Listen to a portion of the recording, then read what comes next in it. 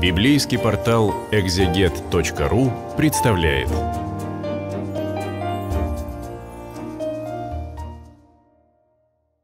Двенадцатая завершающая и, мне кажется, самая прекрасная глава книги Экклезиаста по переводу Российского библейского общества, я ее прочитаю для библейского портала «Экзегет».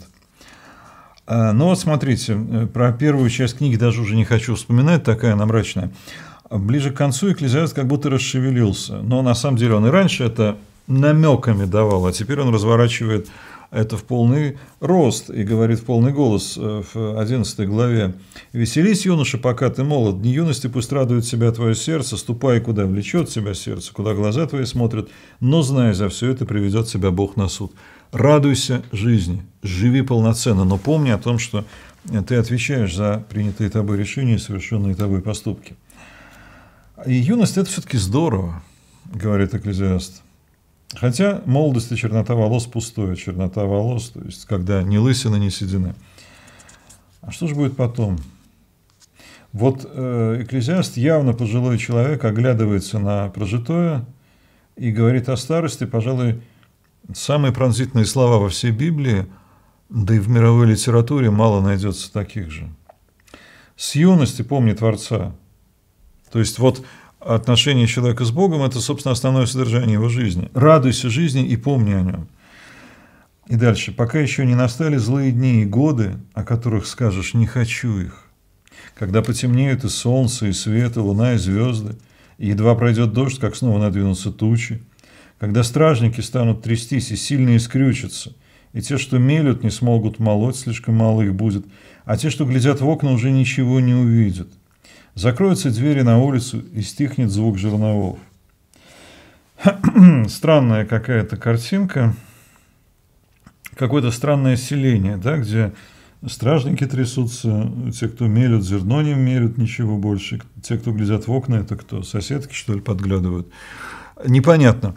Но э, смотрите, ведь это описание старости человеческой. И, судя по всему, можно расшифровать это как жизнь самого человека – Потемнеет солнце и свет луна и звезды. Проблемы со зрением. Едва пройдет дождь, как снова надвинутся тучи, ну, либо такое мрачное настроение, либо даже какие-то э, более физиологические подробности о том, что слишком часто надо выходить. Стражники станут трястись и сильно искрючиться. Вот старческая фигура, походка, да, когда мышцы дряблые, э, кости как-то вот искривляется осанка, вот это все, вот был человек такой вот богатырь, а, а становится скрюченным, сморщенным, ссохшимся, трясущимся, кстати, да, Альцгеймер. И те, что мелют, не смогут, мало, слишком мало их будет. А кто у нас мелет? Зубы во рту. Слишком мало их становится к старости, молоть нечем. Те, что глядят в окна, уже ничего не увидят. Закроются двери, стихнет звук жерновов, то есть э, жерновая, может быть, опять-таки зубы, и, или э, вообще вот такое закрытие от мира, да, вот чувства перестают воспринимать окружающий мир, э, деятельность стихает, да, звук жерновов, а может это вообще стук сердца или что-то подобное.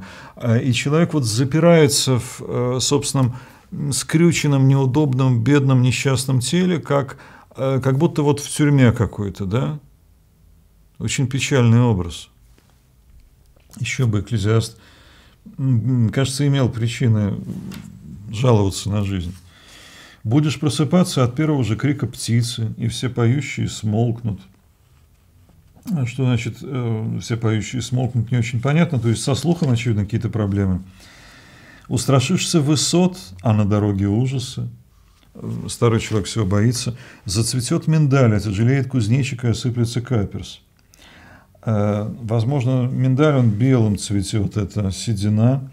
Про э, кузнечик и каперс, э, ну, трудно сказать, что имеется в виду. Кузнечик может быть вообще одно из самых легких живых существ. Кузнечик станет для тебя слишком тяжелым. А каперс, ну, говорят, что, возможно, это афродизиак, то есть средство, которое вызывает желание у мужчины. И речь идет вот о том, что уже больше не хочется никаких эротических приключений, а может быть какие-то образы, образы, которых мы просто не знаем. Да? Э, в общем, человек дряхлеет, и, э, знаете, даже если не расшифровывать это по строчкам, зацветет миндаль, отяжелеет кузнечик, осыплется каперс. Какой-то красивый образ вот э, такого увядания ухода, но одновременно это может быть даже и расцвет, да? Цветущий миндаль – это красиво. Седина бывает красивой. Человек уходит в свой вечный дом, и плакальщики по улице кружатся. Уходит в свой вечный дом. А это, конечно, смерть. И э, смотрите, это поразительно в этой книге. Э, Экклезиаст говорил о том, что все всходят в Шиол, там ничего хорошего ждать не приходится, после смерти нет никаких радостей. И это вечный дом. Вот как будто некое такое примирение с этой самой смертью. То есть, да, мы здесь гости, и мы возвращаемся домой. Помните, день смерти лучше дня рождения. Что же хорошего? Да? Описано, как все плохо накануне смерти. Но ведь это уход домой. Это возвращение туда, откуда ты родом. Он не говорит больше ничего. Да? Это некий намек, на который в Ветхом Завете ответа нет. Ну, а пока ты жив. И дальше очень красиво, даже невозможно это расшифровывать по строчкам. Пока еще не порвался серебряный шнур, и не раскололась золотая чаша, и не разбился кувшин у источника, и не обрушилось колесо над колодцем, и прах станет пылью земной, который был. Дух же вернется к Богу, который его дал. Мне кажется, одни из самых красивых строк о смерти вообще во всей мировой литературе. Даже не буду объяснять ничего, а просто перечитаю. Пока еще не порвался серебряный шнур, и не раскололась золотая чаша, и не разбился кувшин у источника, и не обрушилось колесо над колодцем, и прах станет пылью земной, которую был, дух же вернется к Богу, который его дал. И вот этот вечный дом, он оказывается у Бога. И тут пустая чита, сказал проповедник, все пустое. Так и видишь такого старичка, который произносит вот великолепную яркую поэму, и тут же, эй, надоело все, это все ерунда полная, да. Э, и мне кажется, мы вот видим здесь его таким, знаете ли, немножечко ворчливым, очень лиричным, нежным и тоскующим по былой юности.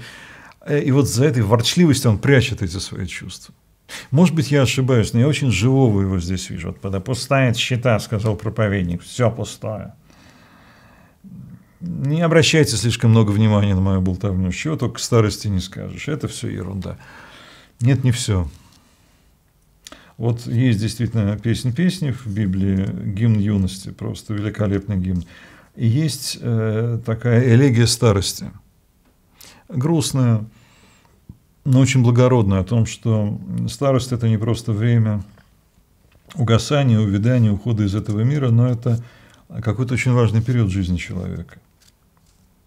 Ну и э, такое послесловие краткое. Проповедник был мудр, проповедник, он же Когелет, по-древнееврейски экклезиаст, по-древнегречески. То есть лирический герой этой книги, ее первое лицо. Проповедник был мудр и еще учил народ. Он обдумал, изучил и собрал множество речений. Искал проповедник меткие слова, и слова истины записал он верно. Э, ну и дальше бывает эпиграф перед началом книги. Да, здесь как бы даже уже не знаю, как это назвать, э, вот то, что в конце книги. Речи мудрых – это стрекало, и собранные пословицы, как колышки, вбитые одним пастухом. А стрекало – то, чем подгоняют скот. Э, скот, он не шибко умен, его надо подгонять в нужном направлении. Вот мудрец э, подгоняет простаков колышки, вбитые одним пастухом. А либо коли шатра, э, пастух, он же передвигается, он кочевник, значит, он ставит себе дом, вбивает колышки, потом натягивает веревки и раскидывает шатер. Может быть, что-нибудь еще, ну, мало ли там, ограду какую-нибудь он на колышке цепляет, скот огораживает. В любом случае, это вот дом он строит. И остерегись, сын мой, составлять множество книг, конца не будет, а непомерные усилия тебя утомят. Всего в меру одна из идей экклезиаста, в том числе, смотреть совсем не длинная книга, притча длиннее в два с половиной раза. Выслушаем заключение. Да, должен же быть итог у книги. А то мы столько всего в ней прочитали и как-то не очень поняли, про что все это. Эм, вот, вы знаете, мне кажется, на самом деле главные книги, они не нуждаются в таком итоге. Но люди хотят – вот людям нужен простой вывод конкретный. Вот вам будет простой вывод для тех, кто не привык слишком мучительно думать над текстом. Вот сейчас очень кратко. Выслушаем наставление. Бойся Бога и заповеди Его соблюдай, ибо в этом весь человек. Всякое дело приведет Бог на суд, все сокрытое и доброе и злое. Это э, книга Экклезиаста для тех, кто ленится думать. Вот ее смысл. Бойся Бога, соблюдай заповеди и помни, что ответишь на суде, в том числе за э, сокрытые свои поступки. Мне кажется, он сказал намного больше, но не все в состоянии вместить э, вот это больше. Потом он говорил настолько цветисто, ярко, порой противоречиво, а человек противоречив, любой человек сам непоследователен, избивчив, что, в общем, ну, не нужно из этого делать какие-то глубокие выводы. Он еще раз напомнил нам, вот пустая счета, все пустое, хавалим, да, то есть вот фух, дуновение ветра. И, э, а вы вот прежний, да, вот бойся Бога и помни об ответственности за то, как ты живешь. Э, как-то даже немножко разочаровывает этот вывод, но можно же всегда вернуться, перечитать и задуматься, представить перед собой этого человека, убеленного сединами, э, который понимает, что жить осталось не очень долго, которому совсем не хочется умирать, но которому очень хочется поделиться главным, что он открыл в своей жизни. И он это делает, как умеет.